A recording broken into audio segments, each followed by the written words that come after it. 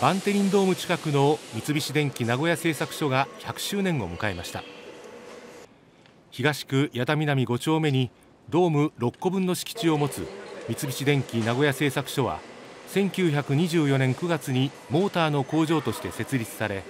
現在は産業用ロボットなど FA ファクトリーオートメーション事業の主力工場です。今日報道機関に公開された制御用装置の基板やモーターなどの生産ライン自体も大部分が自動化されていて田中隆久所長は技術をしっかりと継承しより豊かな社会を実現していきたいと話しました。